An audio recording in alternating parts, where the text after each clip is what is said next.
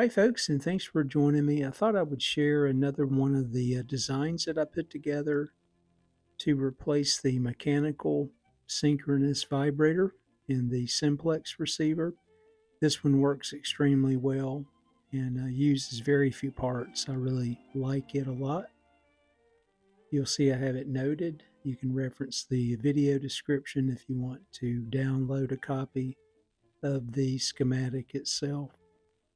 In addition, the uh, frequency, uh, just based on some breadboarding and doing a quick mock-up, based on the components that I have selected, the 0.47 microfarad and the 22K ohm resistor, uh, places the uh, square wave output for both channels between 100 and 132 hertz.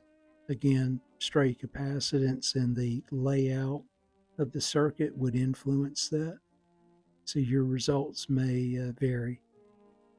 Thanks again for watching. Hopefully, you find this helpful for those out there restoring those old uh, radios that have the uh, mechanical vibrators. Thanks again for watching.